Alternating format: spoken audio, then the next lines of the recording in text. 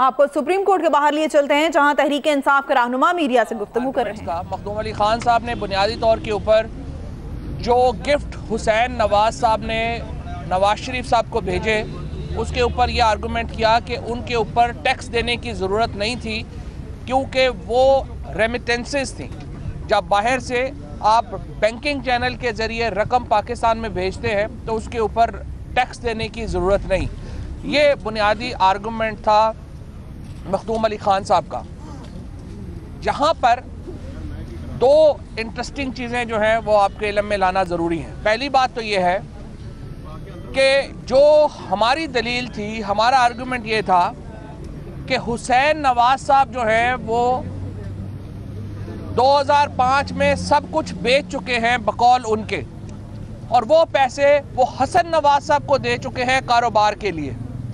तो ये अरबहा रुपया जो हुसैन नवाज़ साहब सऊदी अरब से पाकिस्तान भेज रहे थे, ये उनके पास कैसे आया?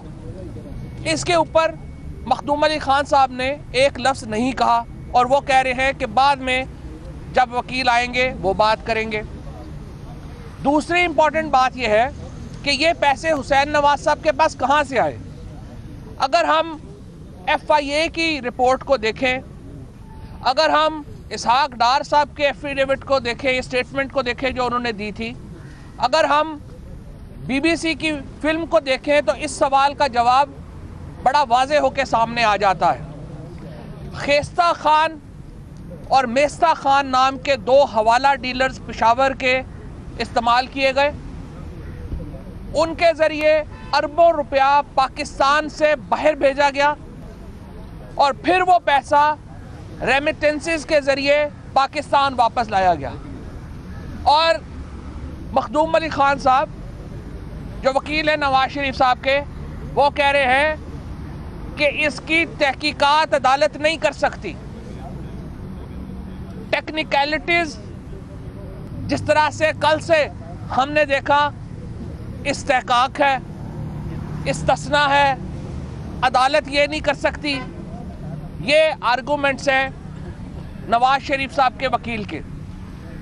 लेकिन अदालत आर्टिकल 184.3 में ये करार दे चुकी है कि ये पटिशन मेंटेनेबल है। और जब अदालत ये कह चुकी है तो फिर तमाम इंक्वायरी भी अदालत करने की मजाज है। और ये मामला कि ये अरबों रुपए बाहर कैसे गए और वहाँ से वापस कैसे लाए गए एक अहम जुज्व है इस मामले का।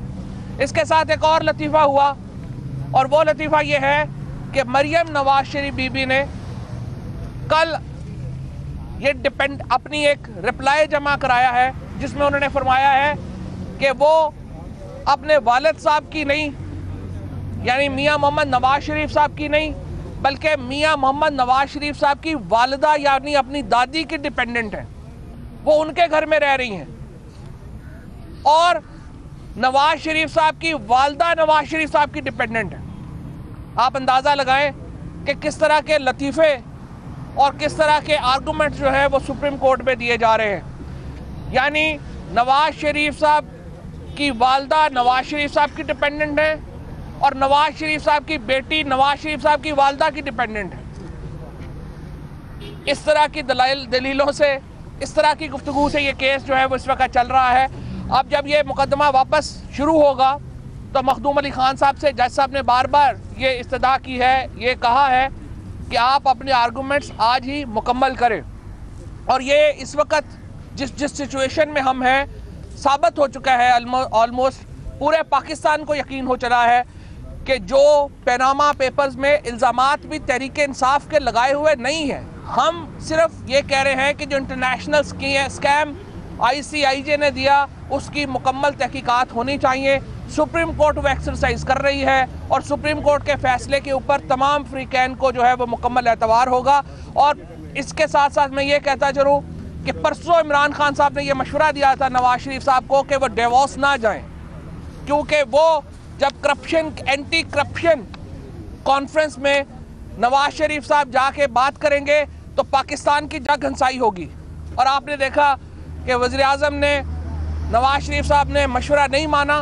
कल वो डिवोर्स गए और वहाँ पर स्पीकर्स ने, वहाँ पर जो इंटरनेशनल स्पीकर्स आए हुए थे, बैन अवी स्पीकर्स आए हुए थे, उन्होंने कहा है कि पैनामा पेपर्स दुनिया में करप्शन की एक नई दास्तान है, एक नया राज है और पाकिस्तान के वज़ी अजम इसके एक अहम प्लेयर है।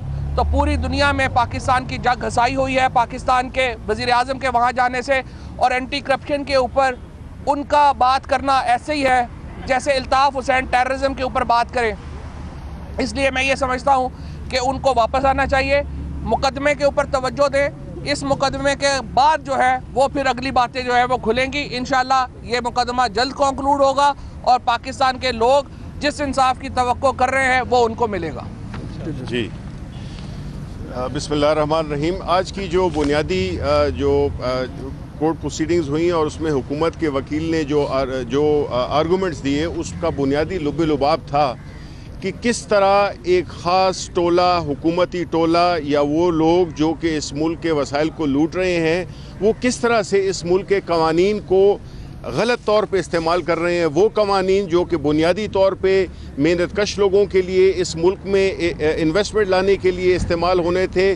उनका किस तरह से मिसयूज़ किया जा रहा है? पैसे यहाँ से करप्शन के पैसे हवाले के ज़रिए बाहर भेजे जाते हैं, फिर वहाँ से वापस लाए जाते हैं और इस तरह से ये अपने काले धन को ये सफ़ेद करते हैं। तो बुनियादी तौर पे कौम जान चुकी है कि किस तरह से जो हुकूमत है, जो नवाज़ शरीफ साहब और उनके जो रफ़ाकार हैं, जिसका कि रहमान मलिक की रिपोर्ट में बिल्कुल वाज सबूत सबूत मौजूद हैं। किस तरह से इन्होंने ये सारे मुल्क से पैसे ले गए और फिर किस तरह से हुसैन नवाज़ के ज़रिए बड़े बड़े अमाउंट यानी एक अशारिया नौ मिलियन डॉलर की कोई ट्रांजेक्शन और बड़ी बड़ी ट्रांजेक्शन जिसमें कि जज जज साहिबान ने उनसे पूछा भी कि इसका हमें आप सबूत दें कि ये आपकी जो वेल्थ स्टेटमेंट है, उसमें ये आया भी है या नहीं आया।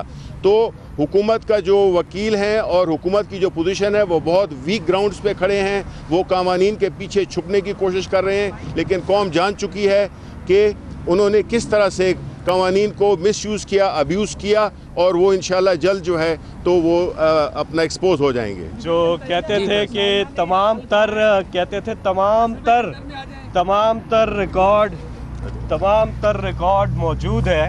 कहाँ है वो रिकॉर्ड कहाँ है मनी ट्रेल, कोई एक दस्तावेजात ये जमा नहीं करा सके। हमने क्या क्या साबित कर दिया? हमने ये साबित कर दिया है कि नवाज़ शरीफ की ज़ात इन सरमाए से, इन असासों से मुंसलिक है। हमने ये साबित किया है कि मरियम जो है, असल मालिका हैं, जो कि डिपेंडेंट है नवाज़ शरीफ की। हमने ये साबित किया है कि नाइन्टीज़ में ये फ्लैट खरीदे गए तब से इनके पास है। हमने ये साबित किया है कि कतरी का जो ख़त था वो फ्रॉड है। हमने ये साबित किया है जो ट्रस्ट डीट थी बिटवीन हुसैन और मरियम, वो फेक थी। हमने ये साबित किया है कि किस तरह से मनी लॉन्ड्रिंग करके ये पैसा बाहर गया है। वो सारे केसेस, वो अलतोफ़ीक बैंक की जजमेंट, वो इसाक डार के एफिडेविट, वो एफआईए की रिपोर्ट, वो सारी चीज़ें हमने साबित की हैं। अब इन्होंने क्या दिया है? दो चीज़ें दी हैं। एक कतरी का ख़त जो कि फ्रॉड, एक ट्रस्ट